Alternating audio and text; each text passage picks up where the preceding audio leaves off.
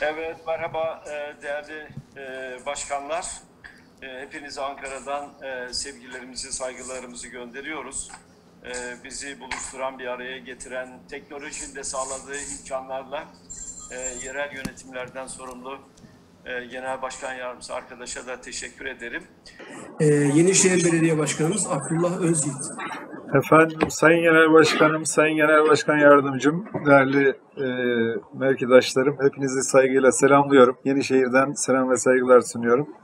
Pandemi sürecinde 15 e, çeşit temel ihtiyaç malzemesini barındıran kolilerimizi vatandaşlarımıza ulaştırdık.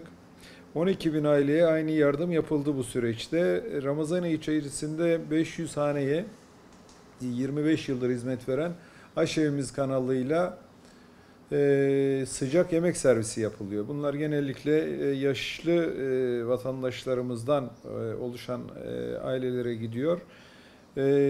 Bu son Ramazan ayında şu ana kadar 5000'e yakın gıda kolisi dağıttık ama e, talep çığ gibi devam ediyor ve, ve biz onları karşılamaya gayret ediyoruz. Pandemi dönemi hepimiz için zaten paralel olarak e, aynı şeyleri yapmaya bir hepimizi itti. Biz de bu konuda e, kurmuş olduğumuz Sosyal Hizmet Ekibi kanalıyla bir kere ihtiyaç sahiplerini e, ortaya çıkardık. Bunlardan 700 tane e, hanemize, kadınlarımıza halk kart e, vermek suretiyle onların hesabına her ay 200 TL'de olsa onlar için çok anlamlı olduğunu görüyoruz.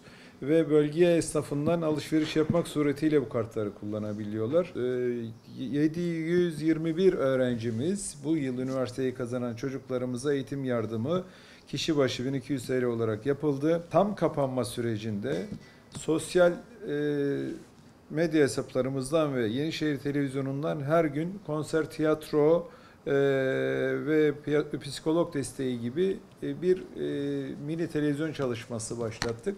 Burada amaçlardan bir tanesi de vatandaşımıza dokunmak, işsiz kalan özellikle müzisyenlerimize destek olmayı da amaçlıyoruz. Onları halkımızla buluşturmaya çalışıyoruz. Yine aynı şekilde e, esnafımıza dokunmaya çalışıyoruz ki kıraathane sahipleri çok mağdurlar. Yani bir yıl aşkın süredir iş yapamamaktalar.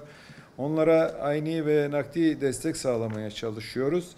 E, sokak hayvanlarımız zaten görevimizi yerine getirmeye çalışıyoruz. E, beslenme, e, gıda takviyelerini yapmaya çalışıyoruz belli istasyonlarda ve gönüllülerle birlikte çalışmaya gayret ediyoruz burada. E, öğrenci yurdumuzu yaptık e, ama e, öğrencilerimize değil sağlıkçılarımızın hizmetine sunduk. Çünkü öğrenciler e, uzaktan eğitim alıyordu. Sağlık çalışanlarını orada ağırladık. Evlerine gitmekten e, imtina eden ya da kaygı duyan deniz gibi olalım diyorum. Onları da rahmetle ve saygıyla anıyorum. Hepinize saygılar sunuyorum.